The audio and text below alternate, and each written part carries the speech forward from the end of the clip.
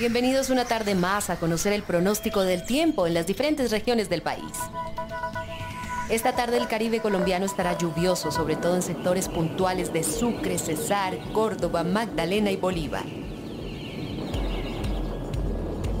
Según los pronósticos, el cielo estará con nubosidad parcial en el archipiélago y es probable que se presenten lloviznas dispersas durante la jornada.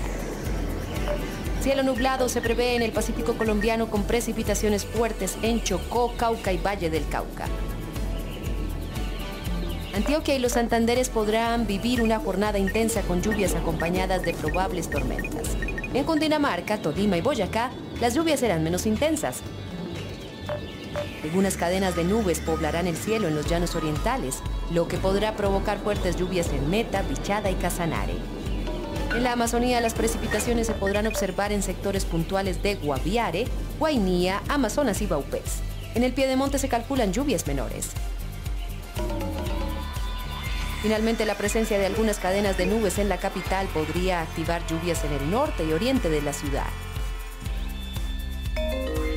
Veamos ahora las alertas que se encuentran activas.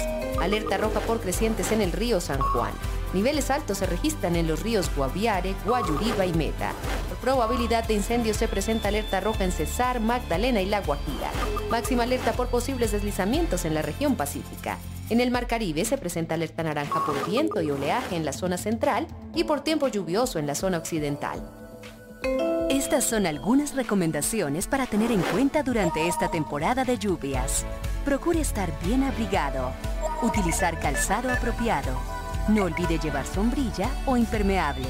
Evite las corrientes frías de aire. No se exponga a cambios súbitos de temperatura. En esta temporada de lluvias, todos debemos estar preparados.